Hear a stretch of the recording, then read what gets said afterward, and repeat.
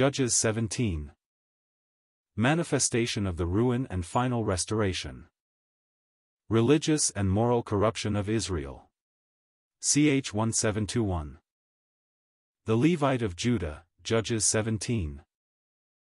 Chapters 17 to 21 form a kind of appendix to the book of Judges, an appendix of all importance for the completion of the moral picture of the declension of Israel, but which, in reality, as to time, precedes the opening of the book we are considering, and goes back to the last days of Joshua and of the elders that outlived him. It was important to show that if, on the one hand, declension was gradual, that on the other, the ruin was immediate and irremediable from the moment that God had confided to the people the responsibility of preserving the blessings bestowed on them at the beginning. It was important, too, as we shall see later on, to demonstrate that the end God had in view was not the ruin, but the restoration of a people who might dwell before him in unity, after the chastisements had run their course. It was, furthermore, of importance to show the connection of the priesthood with the ruin, and how it was associated therewith, and contributed thereto.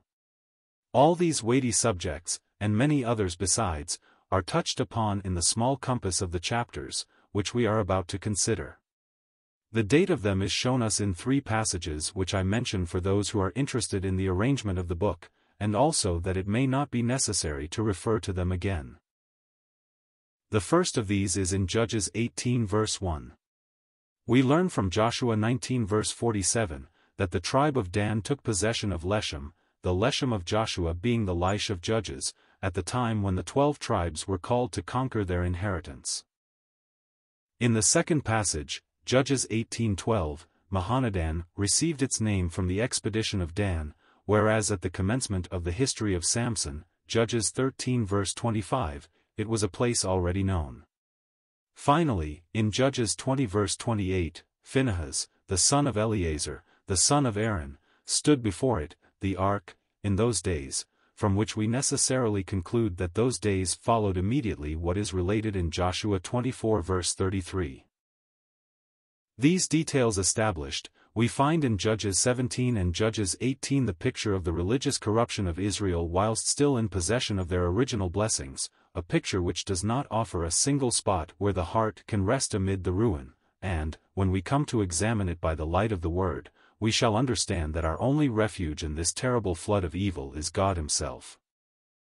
These chapters are linked together by a characteristic phrase occurring four times. In those days there was no king in Israel, but every man did that which was right in his own eyes, Judges 17 verse 6, Judges 21 verse 25. In those days there was no king in Israel, Judges 18 verse 1, Judges 19 verse 1. Thus the state of the people is depicted by two facts. First, there was no king in Israel. The time had not yet come when Israel would say, Make us a king to judge us like all the nations, 1 Samuel 8 verse 5.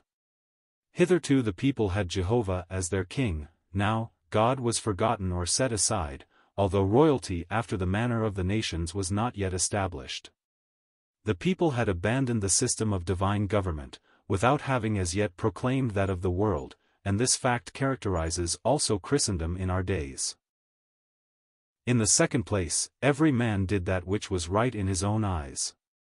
They had, as in the present day, the reign of liberty of conscience. Each laid claim to having the light of his conscience for guidance, whilst the true light of the Word of God was set aside and no longer referred to. How greatly these times differed from those of Joshua, when the Word was the only guide and the only authority for Israel, in all that they undertook, Joshua 1, 7-9, see also, amongst others, Joshua 3, Joshua 4 verse 6, Joshua 8 verse 30.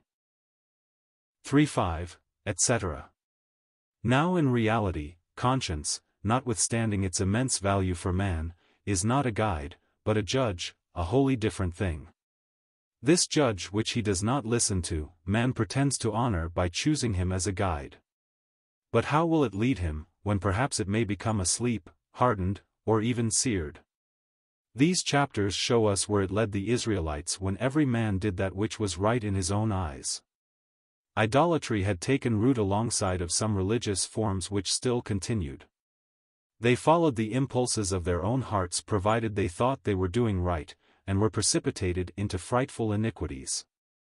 They thought they were doing right is in the present day, as it was formerly, a current phrase used to sanction even what is apostasy from Christianity. Utter disregard of the injunctions of God's word characterized Micah, this man of Mount Ephraim, and his mother. The one stole, when the law had said, Thou shalt not steal, Exodus 20 verse 15, and his conscience was untouched when he avowed the fact. The mother had wholly dedicated the silver unto Jehovah, for her son, to make a graven image and a molten image, v. 3, although it had been said, Thou shalt have no other gods before me. Thou shalt not make unto thee any graven image, Exodus 20 verses 3 and 4. She joined Jehovah's name to her idols, a worse thing than mere idolatry, and her conscience was silent. She set up a form of worship of her own, with which her guilty son fully identified himself. The so-called worship of the religious world in the present day does not differ so much from this as would at first appear, for the Lord's name is mixed up with many things coveted by the natural heart, as to all of which it is said, Little children, keep yourselves from idols, 1 John 5 verse 21. Art, music, gold, silver and articles of value adorn what is called divine worship, and man makes room for what the world esteems and runs after, wealth, influence and worldly wisdom. Micah had an house of gods, and made an ephod and teraphim, associating the false gods with the ephod, a valueless part of Jewish worship when separated from the high priest who wore it. Then, he consecrated one of his sons, who became his priest, version 5. More than ever was the word of God forgotten. His son had no right to the priesthood and Micah had no right to consecrate him. A fresh circumstance arose. A Levite of Judah, having as such a connection with the house of the Lord, but without any right as to the priesthood, happened to pass that way looking for a place wherein to sojourn. Micah got hold of this man, who brought him a semblance of religious succession. Dwell with me, and be unto me a father and a priest, and I will give thee ten shekels of silver by the year, and a suit of apparel and thy victuals, v. 10.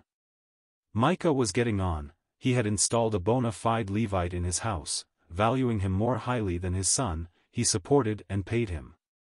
This was a ministry of man's appointing, constituted on the same principles as what we have all around us in our days. Let us notice, in passing, how God recounts these things. He does not censure, nor express indignation, he enumerates the facts, and places them before us.